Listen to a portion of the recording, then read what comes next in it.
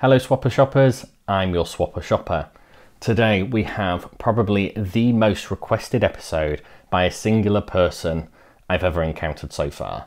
We have got Professor Peppy Zero Sugar versus Dr. Pepper Zero Sugar. Apparently, this is a really close match. Someone has requested this time and time again. I finally found a zero version of the Dr. Pepper because not everywhere sells it. I'm going to put them to the test. These are freezing cold because it's freezing cold outside, so they've not been in the fridge, but they're cold enough to the touch where I think we'll get a good accurate result from this. Let's go. So I've got two glasses and I'm going to see which one is better. So I'm going to pour out about half a glass because I don't want to waste it because I've already been testing a lot of other things today. So this is the Aldi version, which is Professor Peppy Zero Sugar compared to the Dr. Pepper. Apparently you can't really tell the difference. Let's give it a try. I'm going to do about half a glass. Okay. And zero Dr. Pepper.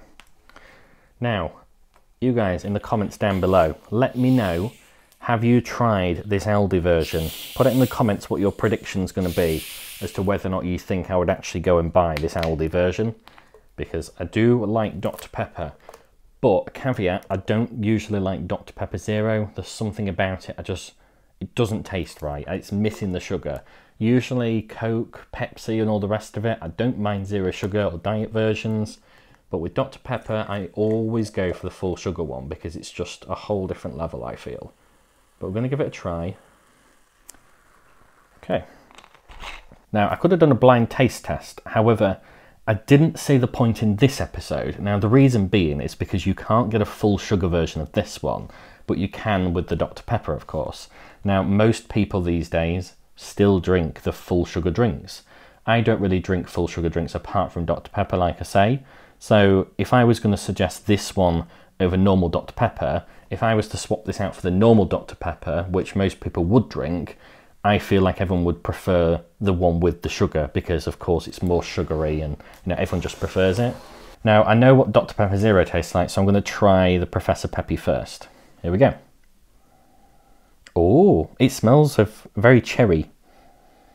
It smells, oh, okay. Hmm, that, that has something in it, which is obviously unique to the Dr. Pepper recipe that isn't in that, for obvious reasons. I didn't think you'd be able to spot it straight away, but you can. Don't know what it is though. This just tastes, uh, sorry, this just smells like, this just smells like cherryade, but looks like Coke. Hmm, interesting.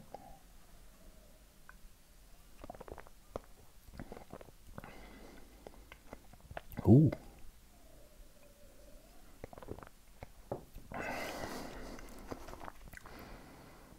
Hmm.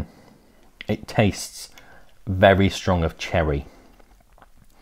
I could have mistaken that for a cherryade mixed with Coke, you know, like one of the, the Coke cherry ones. Mm-hmm.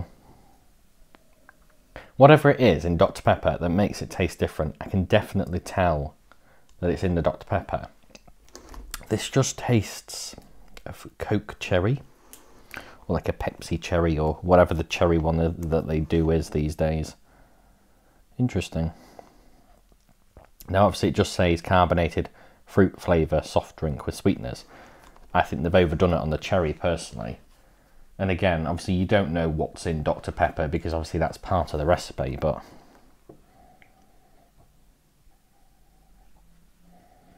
the more I smell, the more I can see where they're coming from with the Professor Peppy.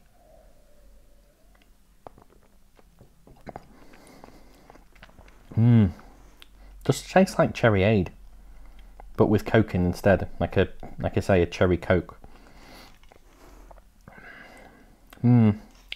I'm not as fond. I know the person is going to be very disappointed, Lewis, that you're not having this one recommended necessarily. But again, the goal is whether I swap. Now, Dr. Pepper they're usually like two or two or three pound a bottle usually, aren't they? I believe this was something in the realm of between 50p and a pound or something. So I guess again, the idea is do you swap it? Could you get used to the cherry flavour or would you miss the Dr. Pepper? Nah, I'm sorry, I have to stick with the Dr. Pepper. And that's unlike me because normally I would say, of course, this is cheaper, it tastes close enough, you may as well just get this. And absolutely, if you're a family on a budget, I would 100% recommend this Professor Peppy. But don't buy it assuming that it's going to taste exactly like Dr. Pepper because it doesn't. If I put this Professor Peppy Zero Sugar against the actual Dr. Pepper with sugar, honestly, it'd be night and day. Honestly, I would probably never recommend this one. For the zero versions, it's close enough where you could probably get away with it, and maybe some people wouldn't notice if you told them it was Dr. Pepper.